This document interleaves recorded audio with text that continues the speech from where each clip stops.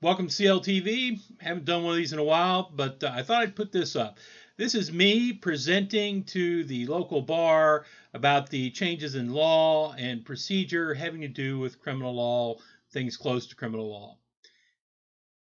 This I do every year for the local bar, and I also do it for all the local police departments and the sheriff's department and pretty much anybody else who's interested.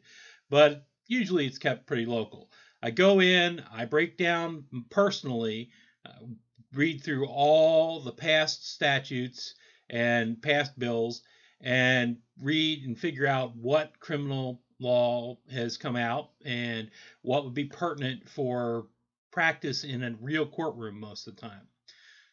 So here it is. I'm going to give a couple disclaimers here. First of all, uh, while I'm, go- I'm, I'm going to give a link to the actual document itself in PDF format, but uh, you should look it up yourself. Never trust what anybody else says. Do the research yourself. You know what I say may have been a slight misinterpretation or a big misinterpretation. It's on you to look. So go look it up. And two, B, I can't remember what I started with, but the second one is this Yes, I know my bow tie was screwed up through the whole thing. I didn't know at the time, and you'd have thought my buddy who was filming this would have said, Hey, Ken, you might want to fix your bow tie. He didn't, and he thinks it's hilarious. so don't get too distract- distracted by how bad the bow tie is. And having said all that, let's get cracking. Initiating startup sequence.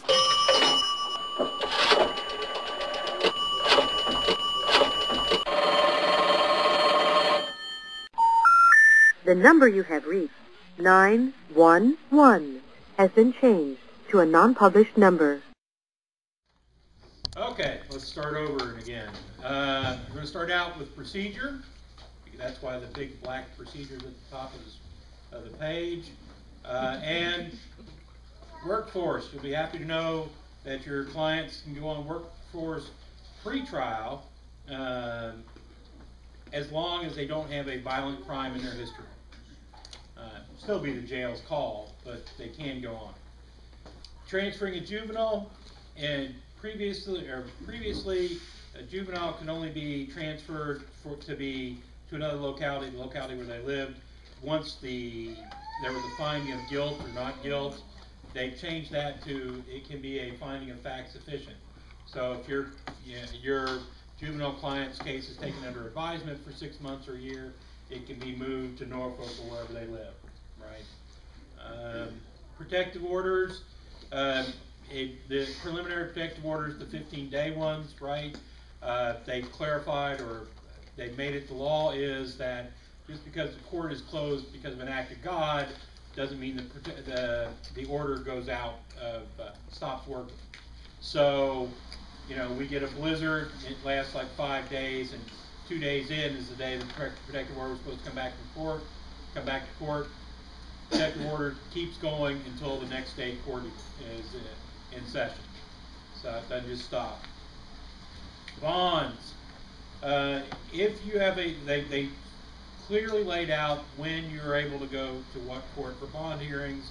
You you know, you, uh, it'll be in district court unless there's a bail, you know, bail decision on appeal, been transferred per the statute here from juvenile court, and or it has been certified by a district court. So if the judge has certified your uh, misdemeanor, you can go to circuit court with it. And if a higher court has made a decision on a bond hearing, uh, you can't go back to the higher court, or the lower court can't make a new decision unless there's a change in circumstances. Bondsmen now, if they pull the bond on somebody and it's not uh, because the judge has issued a capias, if the bondsman pulls the bond on their own, then they have to give a reason for pulling the bond, and they have to turn in the money they've gotten to the clerk, at which point the judge will get to decide who gets the money, whether or not it's the bondsman or the defendant. Um, I've not seen this as much here. Y'all would be in better this than I would, but there were there were bondsmen around Richmond when I was there that would take really high risk people, and then like a week later would pull their bond. You just for no particular reason, and uh, I think that's meant to stop this, or that this is meant to stop that. Multi-jurisdictional grand jury. If somebody's indicted by the grand jury, we have to tell you, defense attorneys, that they were indicted by the multi-jurisdictional grand jury, um, and or we got evidence through the multi-jurisdictional grand jury to get their indictment. And then there's here's the rules about what can happen if you get if you get the judge to order that you're allowed to have stuff from the multi. You have to maintain secrecy and all that sort of thing. You're not allowed to hand it out to the press or anything. Um, although you can use it for the defense of your client. If you lose it or it disappears somehow or the secrecy is busted, you have to tell the judge. So, are you talking about transcript? uh, it would be a transcript. Uh, it could also be things that the multi-jurisdictional grand jury had subpoenaed in. Felony prostitution offenses. Anybody who's looked through this realize that this year the General Assembly went nuts about prostitution. Really, they kind of went nuts about pimps, not really prostitutes. But uh, anybody now who is convicted of a felony version of uh, prostitution, aiding prostitution, promoting prostitution with a vehicle, most of these involve minors, uh, receiving money for prostitution, uh, all that's going to be part of a that's going to be a violent offense. So the next time they go in, they'll have a violent offense on their sentencing guidelines. DNA samples. If you're convicted under a local ordinance that is similar to a misdemeanor statute, uh, that would have gotten your DNA sample taken. Na- and now you'll be taking your DNA sample will be taken on the ordinance as well. Although it is very poorly, it's poorly written. You could read it and think it's just the last thing in the list that you uh, get DNA samples for, but that was not the purpose of what they were trying to do. Um, your intake officer now has to tell the district superintendent uh, if a of the school if a student is alleged to have made a threat of death or bodily harm. Uh, this is generally a threat made in writing. Uh, if they threaten to harm somebody at the school or school event or anything like that, uh, then it has to be told to the superintendent. The Person that works at the Depen- uh, Department of Forensic Science is now allowed to have illegal items so they can test to see if they're illegal items. Apparently they weren't allowed to before, so we changed that statute. Uh, uh, victim, victims in not guilty reason of insanity cases have to be given notice when somebody's going to be let loose or anything like that. Um, firearm rights res- restoration, same thing, you, same process as before. They have to get their rights restored by the governor. Then they have to go to their court to get their right, get the uh, firearm back. They changed it from the statute saying they would have a permit to have a firearm to now it's a restoration order. And the big change I think is going to be that it's going to be they're supposed to tell NCIC.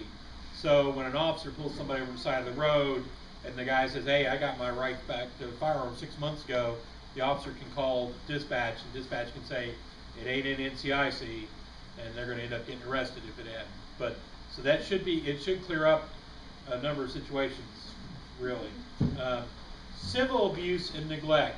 If somebody is determined civilly to have committed abuse and neglect, and it's on appeal, uh, the and but a criminal case is being investigated, that that appeal will get stayed for up to 180 days, or until the criminal case is disposed of. Law enforcement using drones. As we all know, they passed that statute a few years ago saying law enforcement can't use drones for search purposes unless it's something like an Amber search or something like that, or Amber Alert.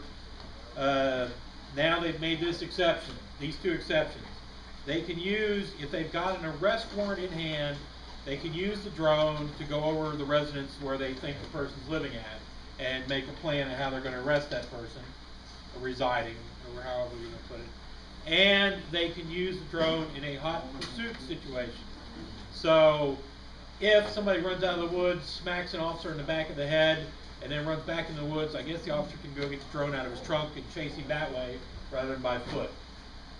And, you know, maybe that'd be an interesting one to argue in court whether that's still hot pursuit at that point, but Uh, they can use them. I assume that that's for more important things like you got six officers chasing some guy who's just shot up a bank or something. One of them could use his drone while the other five chase him, that sort of thing. Uh, substantive crimes and jurisdiction, forgery. Forgery can be prosecuted wherever the issuer the account holder loses money, basically.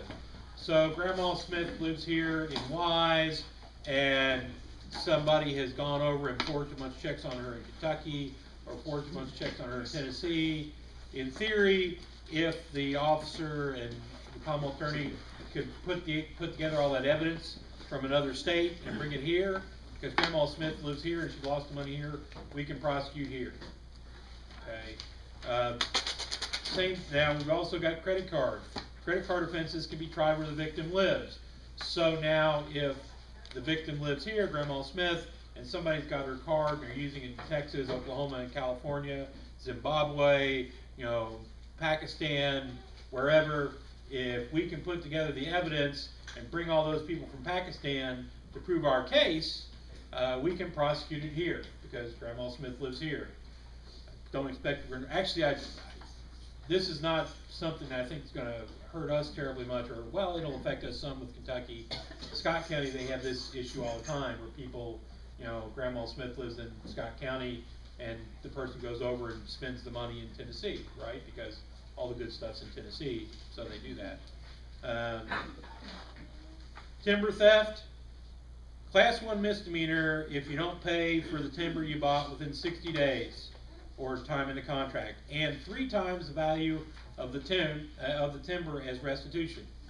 Not sure how that's constitutional, but the General Assembly has passed that statute, so it's there. Uh, if the seller asks the buyer for an accounting, uh, there has to be an accounting within 30 days, or it's class three misdemeanor. Um, and you think you, you, you may laugh about this, but we get calls about timber theft all the time. Most time it can't be proven who took it or whatever but we get calls about it. Uh, adult financial abuse. These are actually maybe something that'll do some good. Financial institution, now, if they suspect that little Jimmy is cleaning out grandma's bank account, they can refuse to cash the check or let him use the card or whatever for 30 days, and they can turn it over to law enforcement for investigation. So, hopefully that'll do some good. I've seen too many uh, little old ladies get their uh, accounts cleaned out. Violent crimes, capital murder. If somebody kills a law enforcement or a fireman, uh, and that person, when they when they do the murder, is over 18, the punishment has to be at least mandatory minimum of life, and at most death, of course. Uh, this is in reaction to a case from a couple of years ago where I think the Supreme Court said, well, you know, yeah, it says life in prison, but it doesn't say mandatory minimum, so the judge can suspend all that time if he wants. And this is General Assembly saying, no, he can't. Right? So, kill law enforcement or firemen, you end up in prison for life, or you get death. DUIs for both cars and watercraft.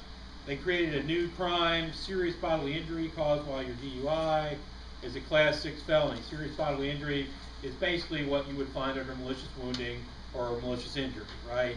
Uh, although they have a definition here down at the bottom. And permanent serious bodily injury, which used to be a class six felony, is now a class four felony. So they define serious bodily injury means substantial risk of death, extreme physical pain, disfigurement, uh, loss and impairment of bodily functions. So again, basically what you would get from malicious or malicious injury or, or malicious wounding.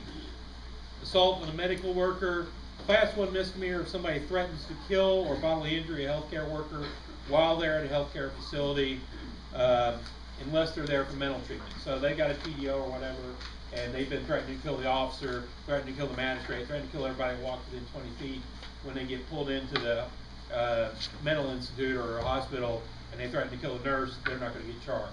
But if some drunk idiot's in there and he threatens to kill the nurse, he can get charged. I think the difference between this and a regular assault and battery is this didn't seem to uh, require any actual ability to do it, right? So if they're cuffed and whatever, and they threaten to kill the nurse, then I think they can still be charged under this as class one misdemeanor.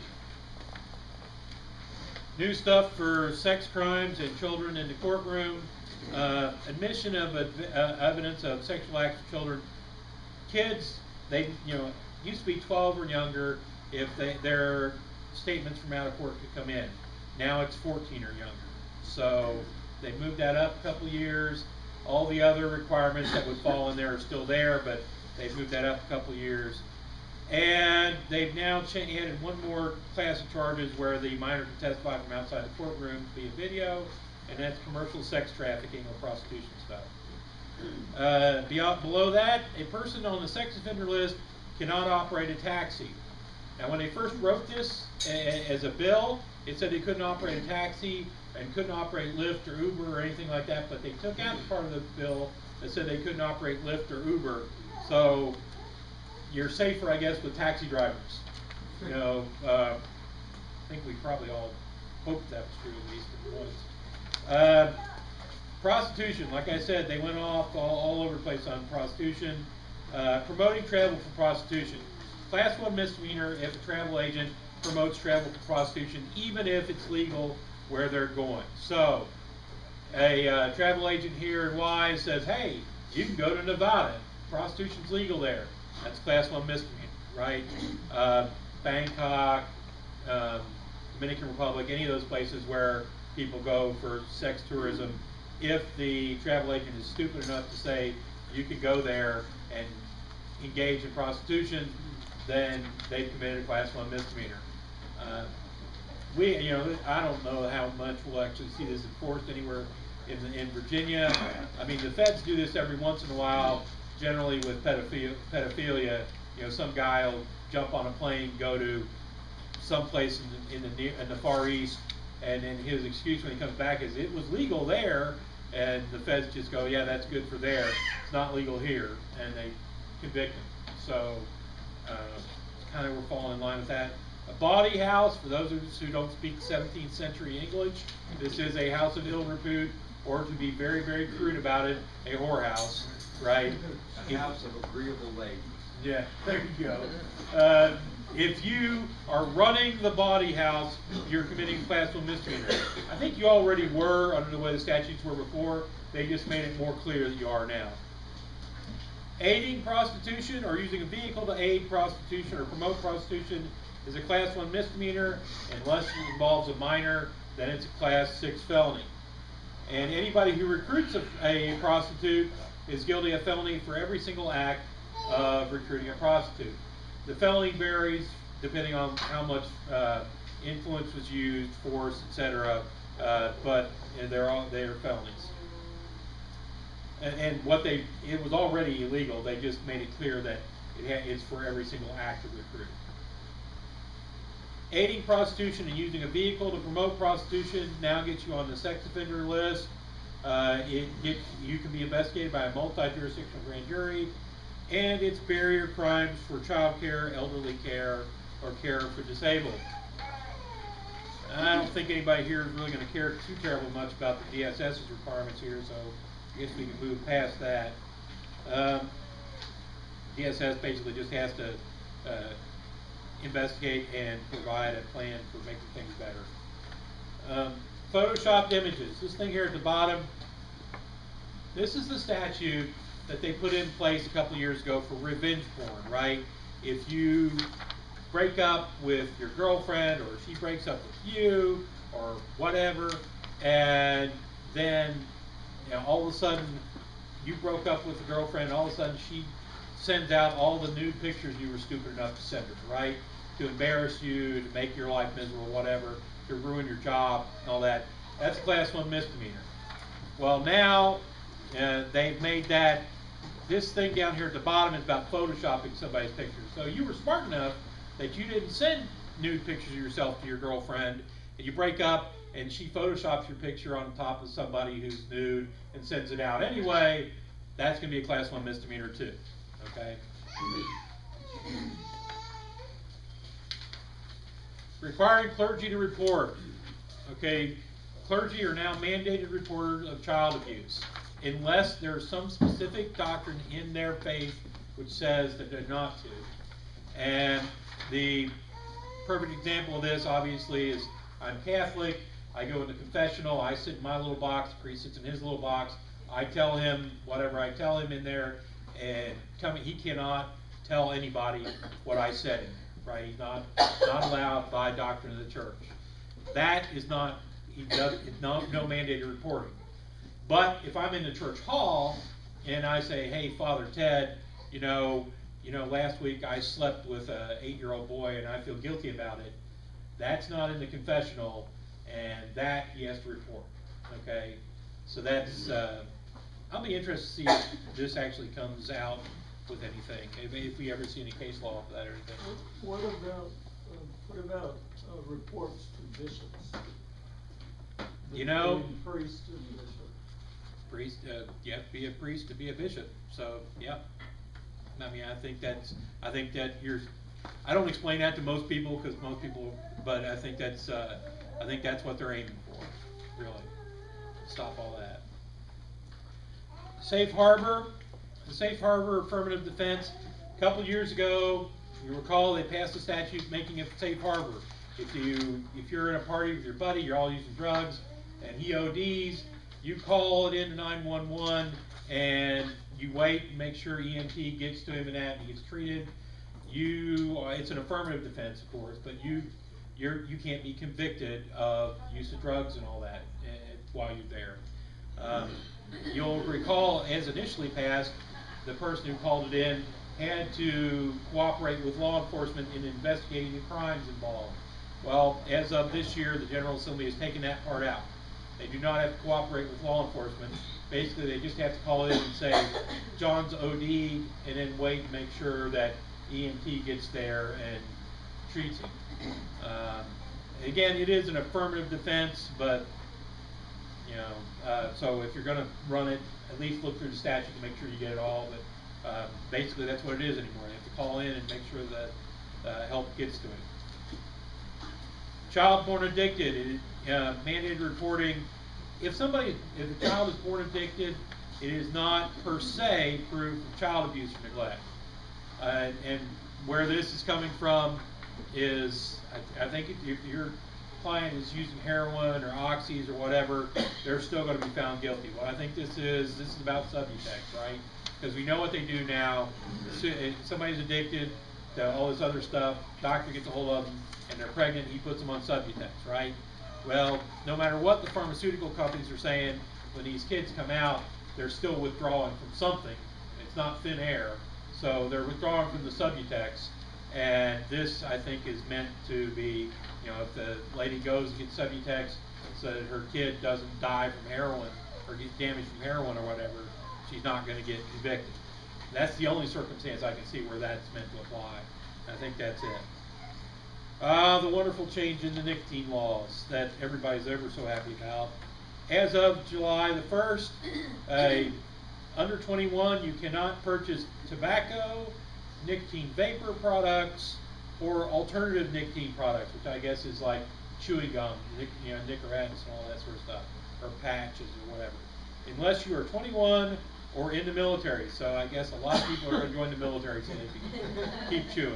Um, gotta say, I've been around doing the same thing for the law enforcement, uh, departments, and they're not all that thrilled to go out and just start rounding up everybody under twenty-one who's got a can of Skoal, right? I'm sure they will if it's necessary, but they're, uh, not the most thrilled about it. School boards are, you know, there were a lot of statutes about this, but I just summarized it here. The school boards have to basically make, uh, procedures that will ban tobacco products and nicotine products. Paraphernalia, basically, it is usually a paraphernalia item that's not legal if you have, if you're using it to measure what kind or how much of drug, certain drugs are in whatever drugs you've got, right? Well, they made it as of this year, fentanyl, the paraphernalia that measures fentanyl is not included in that. So I guess the General Assembly doesn't want the, uh, want the yahoos dying of ODs and fentanyl. About the only reason expect to understand that. Freon, which is fluorinated hydrocarbons, and Freon's replacement, which is hydrogenated fluorocarbons, because Freon is killing the atmosphere, so they found a replacement for it. it is now added to a class one misdemeanor to, it's, it's added to the list of, of those things. You can't huff, snuff, inhale, whatever you wanna call it. Uh, all the others are, I, I've included the list of all the others. The reason Freon was made illegal, class one misdemeanor, this happened like in Northern Virginia, as I understand it. Kid got charged with, uh, with huffing Freon, went to court. The judge said, no, not in the list, can't convict him of it. He got let out the door, and then within a, a couple days, as I understand it, he did a video of himself sitting there with a whole bunch of cans of, you know, I guess like keyboard cleaner or WD-40 or whatever. Went, they can't do anything to me about this. I can huff this stuff all I want. And then died later that day from an overdose. General Assembly's reaction to that is to make it a misdemeanor. At least they're moving in the right direction. Uh, new Schedule 1 drugs, as always with the Schedule 1 drugs, you have to be a chemist to understand what any of these things are. So we're just going to kind of skip that whole list. Uh, well, with the exception of on the on the last page, fluoroprazolone, fluoroprazolone, ah, who knows, whatever. That's a benzodiazepine, but it's never been legally sold anywhere in the United States, so it's out there. New Schedule 2 drugs, the most interesting one of these is nalmefene, which is a treatment for opioid-induced constipation. So if your client is using opioids, the General Assembly wants him to be constipated. So I gotta assume you can get high off this stuff too, but who knows? Uh, and they've made gabapentin, Neurontin, uh, a Schedule 5 drug. Kind of wish they'd have made that a little higher, but that's what they've done with it. Naloxone can be regional jail employees can possess Naloxone after they've completed the training program. Hemp and CBD now legal to deal. I probably should have said sell industrial hemp products. Uh, so if you want to go out there and sell hemp ropes and hemp shirts and all that stuff, more power to you. You're allowed to now.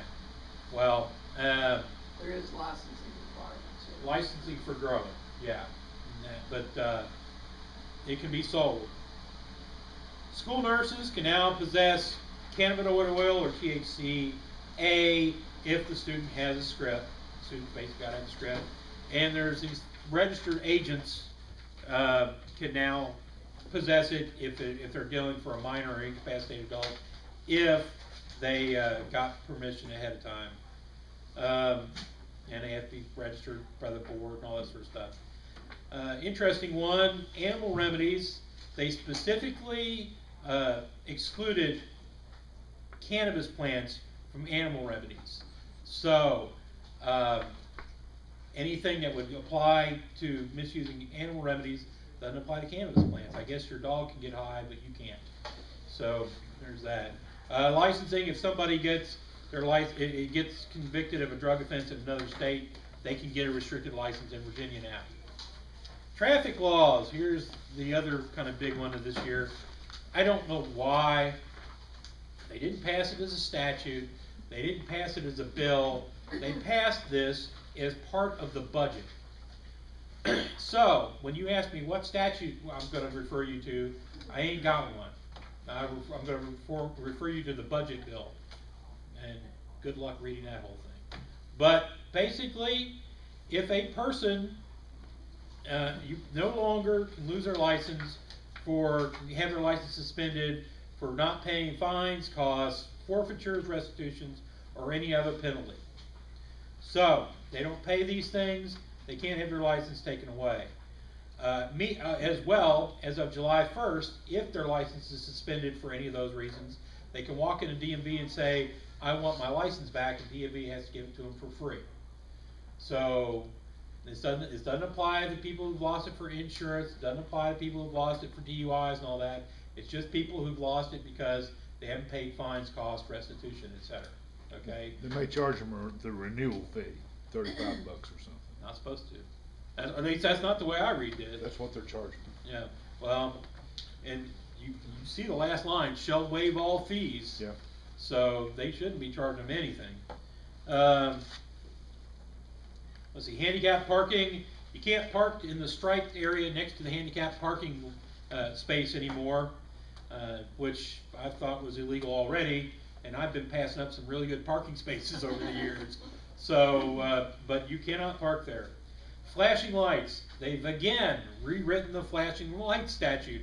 I think this is the third or the fourth year in a row. Uh, but okay, you recall they ori- originally wrote it as reckless driving, then they changed it into a uh, just a, a regular old citation, and now they've redone it again. It's the same rules as before. Somebody's coming down the road, there's a car with flashing lights. We're talking, you know, turn rotating flashing lights or, or specific, not just you know your general hazard warning lights, but other lights. If they come past this car and it's two lanes, they have to pull the left-hand lane, or they have to slow down if they can't get to the left-hand lane and go past cautiously. If they don't do that, and it's red and blue lights, right? It's red and blue lights, that's reckless driving again. So it's moved back up to reckless driving for officers and ambulances and stuff like that. If it's just a vehicle with amber lights, you're, you know, recall UPS trucks were, were allowed to have amber lights a couple of years ago. Uh, those kind of, they're just something with amber lights or tow trucks, right? Uh, then it's just a citation again. If they go by and because they're going by and uh, they don't pull over in the other lane, they hit somebody or something, cause damage, that they can lose their license for a year. If they kill or injure somebody, uh, they can lose their license for two years. Although I suspect it'll be the least of their worries at that point. We'll probably prosecute them for something a little bit more serious. And there's a new class of vehicle that can use uh, amber lights now. Vehicles that haul trees, logs, or any other forest stuff now can have amber lights on their vehicle. Uh, using a phone in a work zone, I'm confused by this one because they passed this law last year, and I, they passed it. Apparently, it disappeared somewhere in the ether, so they repassed it again this year. And if somebody drives through a work zone and they got their phone in their hand or any other handheld personal communications device, generally that's always going to be the phone, uh, they could go through the work zone. That is a $250 fine. It's not 4,250. Sorry for the misprint. It's a $250 fine for going through the work zone with the phone in the hand, and it is, as best I can tell, a primary offense. So the officers can stop your client right away. Uh, I will tell you, the officers have asked me several times whether I believe this applies only to when work's going on, or if I think it applies to places where they're, you know, where they've laid out a work area and have barrels and all that up. I think it applies to even if there's no workers going on at the time because you've already got a, you've got a restricted driving area and more obstacles up, right? So I think it would still apply, but we'll see if it, how that plays out in court. Yeah, that's what I was gonna ask, 'cause sometimes you have a sign that says work zone, and then you drive and it's, it's nothing, it's just the sign that says work zone, not even, you know, like, they're done, you know, there's no. Yeah, I've seen that. Or anything. You, if you if you're early enough in the morning on 23, you, or maybe 58, probably 58 too, they they just put the sign down. They haven't started doing anything or got the trucks out. Yeah, I know. That, I, it, I I suspect in those cases we probably wouldn't convict somebody of that, you know. Uh, but what I'm talking about work zones that are already laid out with all the junk out there, you know. Uh, no longer things that can no longer be complied with law. All these here were already illegal and already carried the same punishment that they have laid out here, like class two misdemeanor if you uh, have use a fake or, or uh, registration or license plate or whatever, and you already know and you know it's bad, or one from another vehicle. Class two misdemeanor for not turning over your license or registration when DMV tells you to turn it over, and class one misdemeanor for giving false information to get registration and all that, right? All that was already illegal, already carried the same punishments, except you used to be able to comply it with law. Uh, and now they've moved to a statute where you cannot comply with law anymore. So none of those comply with law now, can be complied with law.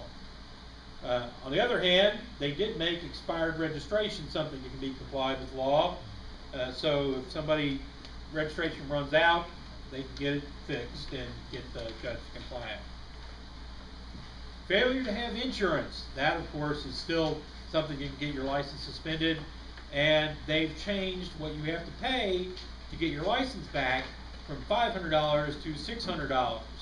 Because, you know, if you can't afford to pay for insurance, you can surely afford to pay six hundred dollars to get your license back, on top of the extra super expensive insurance that you're now paying for, right? Uh, sorry, cynicism, I guess. Uh, the uh, I've never been a fan of that section. Uh, tinting laws, if somebody works for a private security firm and they're a canine handler, they can, uh, they don't have to obey all Virginia's tinting laws. Uh, I guess so the dog doesn't get scared by the sunlight or something.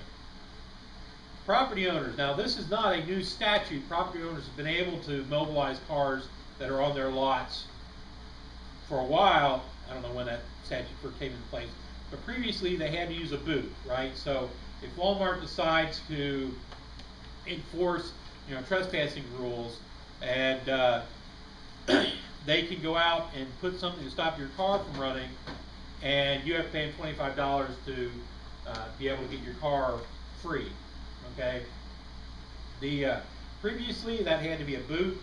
I don't know what it would be now. I mean, anything. Maybe there's going to be electronic devices that can keep the electronics in your car from working or something like that.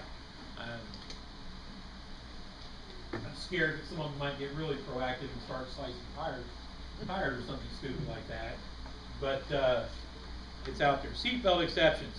Officers don't have to use all the. I don't know what all the requirements are for. I think it goes up like eight years old or whatever. Special belts and seats and all that stuff you have to have for kids now. My dad just used to throw me in the back of the truck and get me from point A to point B.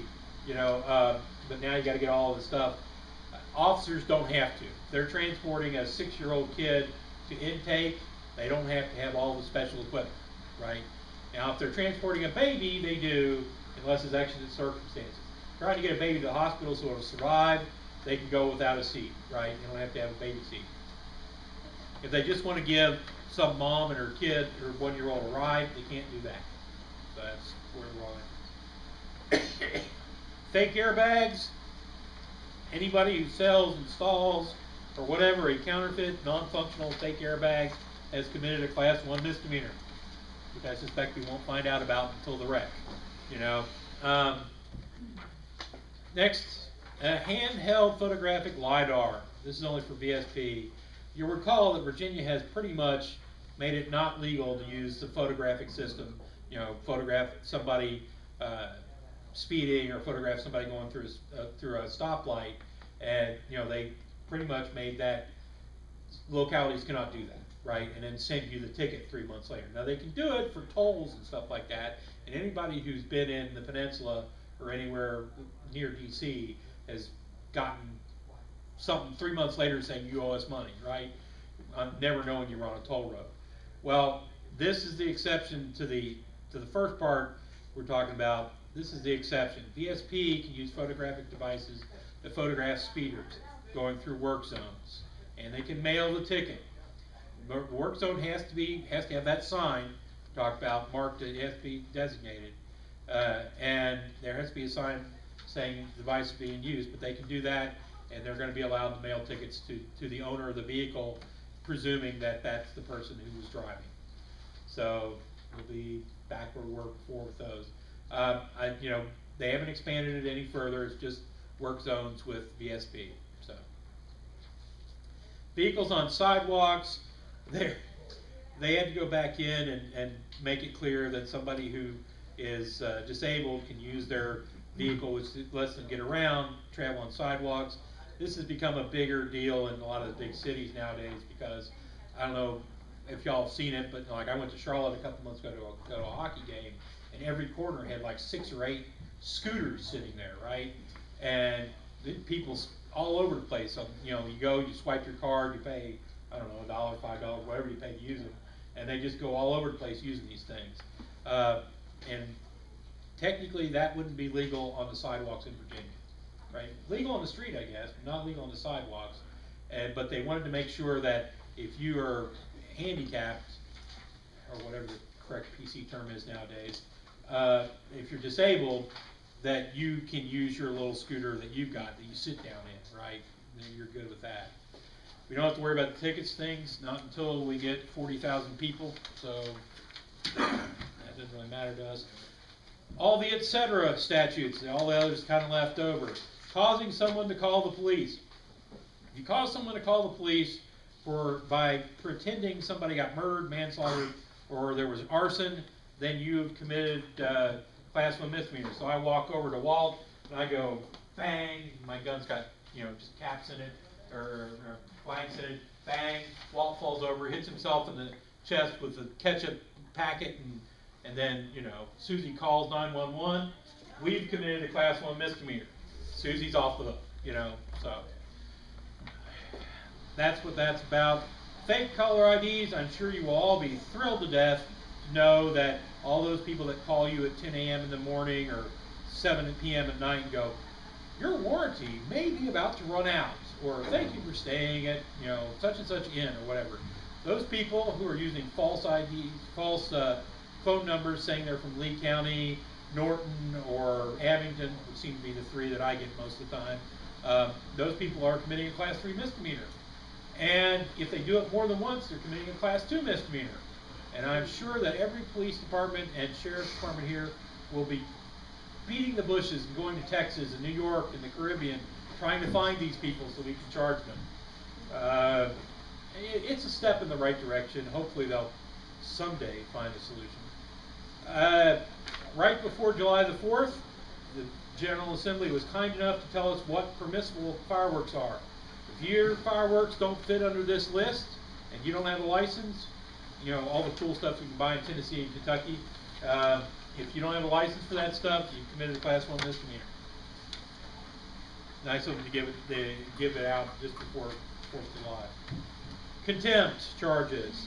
JDR, this statute here uh, for contempt, uh, basically if somebody doesn't come to court now for you know, felony or misdemeanor or summons or whatever, they have to be charged under 18.2456, not under the JDR statute. And they added a specific section for this in uh, 18.2456.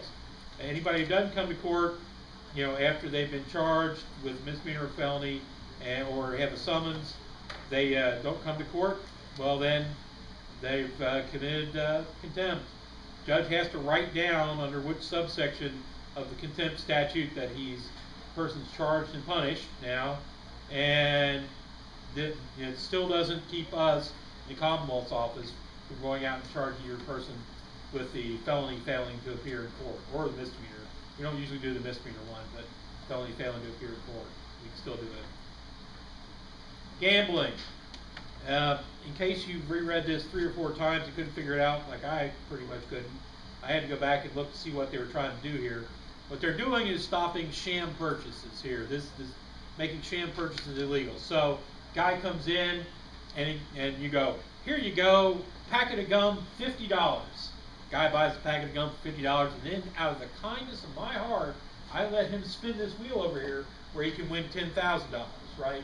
Just out of the kindness of my heart, I could do this for any customer, any person who walks in the door. Right? Uh, and so, you know, apparently that has worked somewhere in Virginia as a, as a way of uh, gambling, and this is the General Assembly's way of shutting that down. So, abuse and neglect of an adult with permission can't be convicted of, this is probably more neglect, of abuse and neglect of an adult if you have permission ahead of time. This is things like advanced medical directives, do not resuscitate orders, or if somebody's very religious and their religion says you thou shalt not use medicine or certain types of medicine or something, and they make sure whoever's going to be their guardian, if they're if they're going to become incapacitated, knows that uh, the person not giving them medicine, not resuscitating that, has not committed abuse and neglect. Right now, it's an affirmative defense; they're going to have to prove it, but it's out there. Uh, non-picture ID cards; these are brand new this year. At age 15 or older, if somebody has a religious reason that they can't have their picture on an ID card. Not a driver's license, you still have to have a picture if you got a driver's license. But if you want an ID card without a picture, you can get one. There's a whole bunch of hoops they have to jump through for this. I didn't put all the hoops in here, but there's a whole bunch of hoops they have to jump through to get it, but they can get it. Uh, and so we, I imagine, we'll start seeing a few of those pop up here and there. They are not, you know, anybody who gets one by lying, it's class two misdemeanor. Anybody who gets one so they can commit a felony has committed a felony. So, there. Exceptions to the conflict of interest laws, they fiddle around with these every so often. Uh, if somebody is a school superintendent and a family member uh, gets a job in the school, in, the school system, and the superintendent, su- uh, superintendent certifies that he had no business at all in that hiring decision, and the deputy superintendent says, yeah, he didn't have any business at all in that hiring decision, and they just got hired on merit, uh, and then it's basically not a conflict of interest. Um, so, always those are always interesting laws. Drones, nobody can land. It, it's class one misdemeanor if you land a drone on federal aviation land or U.S. Uh, security sensitive airspace. If you land it, now apparently if you fly it through the air, because that's federal airspace, it's not a state crime. It's a federal crime if they choose to prosecute you. Uh, but if you land it, that's both federal and Virginia land, and we can do a misdemeanor against you. I'm not sure where that would apply, or if it would apply anywhere around here unless we uh, get an Air Force base real quick or something. Uh, apparently, what this is is uh, the locals. This has happened in other parts of the state where there are some of these places, and uh, the people running the airports or whatever are complaining because these drones are landing, and it's a, it's already a federal crime, but the feds won't do anything about it. So now we're passing a statute. And now we get to the animal sections. Pets. If you're representing someone who has a dangerous dog or the dangerous dog uh, claim itself, if somebody, if there's a claim the dog is dangerous, the judge can now take that under advisement, set conditions, and if the conditions are met, then dismiss it, right? Uh, animal cruelty, they clarified that animal cruelty doesn't have to be the owner, it can be anybody. Uh, they added serious bodily injury to dogs or cats, pets, uh, as a class six felony. So if you go out and beat your neighbor's cat, and, uh, but don't kill it, it's a, it's a felony too. It was already a felony if you killed it. Walt's giving me a look like, what? You can't kill a neighbor's cat? Uh, the, uh, uh, it was already a felony to kill it. Now it's a felony to seriously injure it. And serious bodily injury for animals, they're exactly the same things they are for serious bodily injury for humans. They took the same language uh, from the other statute. So risk of death, physical pain, uh, you know, disfigurement, law, impairment of function. Locality can pass a statute to keep dogs from running at large, uh, except dogs are used for hunting. This is an anti-packing statute, right? But apparently, some places have had problems where you know everybody in the neighborhood's letting their dogs run, and they pack up in a pack of eight or ten dogs or whatever. They did make exceptions for people like Chad back there, so he can still run his dogs, you know. But uh, the uh, if you're if you're a regular person and regular dogs, and your dog's out there running and it packs up with the eight or ten other dogs, you can get charged hundred dollars for every dog in that pack. So this is the anti-gang statute for dogs. Pretty much. Yeah, exactly. They have to pass an ordinance. Yeah, they have to pass the ordinance, though. You're right. Um, adequate, oh, adequate shelter for dogs. During hot weather, they got to be properly shaded, and it has to be something that doesn't readily conduct heat. Cold weather, they have to have a windbreak at the entrance and provide uh, bedding in there. And you know, for those of us that have dogs and do that sort of thing, you know full well what happens. You put the doghouse out, you fill it with wood chips, and they go sleep underneath the picnic table anyway, on the ground, right? But you know, that's it's the law. Wild critters. You cannot shoot a wild bird or animal from your from a vehicle unless the vehicle is stationary on private property with permission or ownership, and uh, you're shooting a nuisance animal. Which here's the list: blackbirds, coyotes, crows, cowbirds, feral swine, grackles, which is a small bird, as I understand it, English sparrows, and starlings. So you want to sit in your car and shoot English sparrows, you can do it as long as you're on your own private, property. There used to be an exception for handicapped hunters, wasn't there? Did they get rid of? I'd have to look, to be honest with you. I know there were exceptions as of like last year, the year before, they allowed them to have their blinds down on the ground as opposed to up in the trees, but I'd have to look, check the rest of that. Uh, penalty for wanton waste, and this is, uh, what the definition is, I took, checked, is if you shoot the deer, but you don't go chase it down to finish it off, and it just dies in the woods and all that, that's wanton waste, right?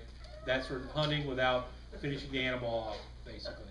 And as I'm sure I've heard some chuckles already t- from this, the uh, animal control officers can confiscate tethered cocks now. What's So- that? I'm sorry? Uh, I think you heard it the first time. Uh, and that's pretty much it, folks. Any questions about anything that, What that do you, came what up? do you mean by tethered? I think that may, may be up to the imagination of. Under his firearm, like restoration, is up to the, the person, uh, who's trying to get the right back to try to get in touch with DCI, you put that on there. Say again? Is it up to the petitioner that's trying to get their firearms right Okay. restored to try to? No, the petitioner, in, in firearm restoration, the petitioner, as of the passing of this law, is not on him to notify NCIC that, that he's gotten his license back, or got his right to have firearms back. It's supposed to be done through the court, clerk's office.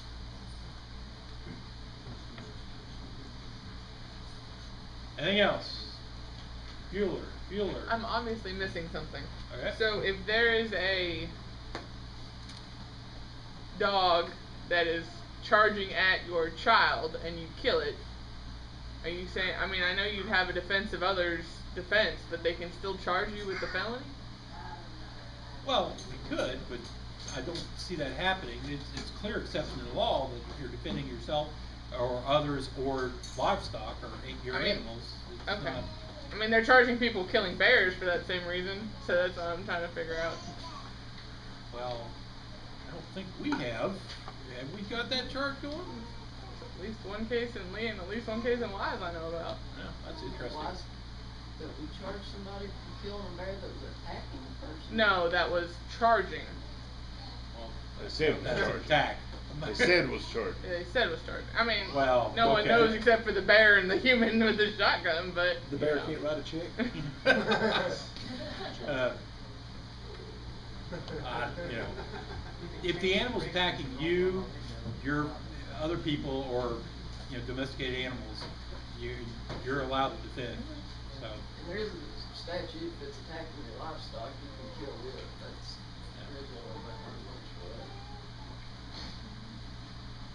anything else? Well, you looked you had something there for a second. No. Uh, go forth and have fun.